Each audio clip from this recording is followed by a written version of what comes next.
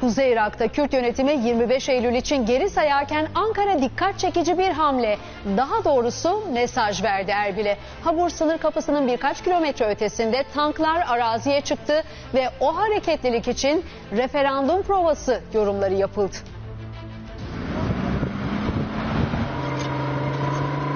Habur sınır kapısının sadece 7 kilometre ötesi. Tanklar, zırhlı araçlar arazide tatbikatta. O tatbikatla birlikte eş zamanlı olarak bölgede terörle mücadele operasyonları da hız kesmiyor.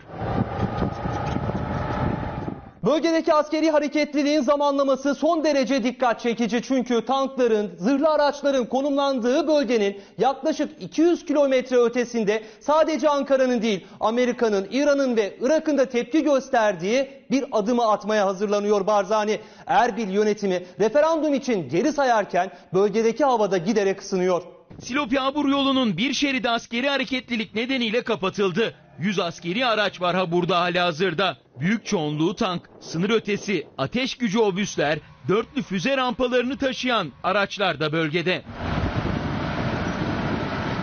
Ha buradaki görüntünün anlamı çok net. Ankara hem siyasi hem de diplomatik mesajlarla Erbil'e referandum sevdasından vazgeç dedi. Ama Barzani ısrarcı olunca bu kez de askeri manevrayla rahatsızlık işte bu fotoğrafla ortaya kondu. Türkiye'nin tavrı net. Kuzey Irak'taki referandum ulusal güvenlik meselem diyerek karşı çıkıyor. Hatta MGK öne çekildi. Kriz yaratan referandum için nihai karar o toplantıda verilecek.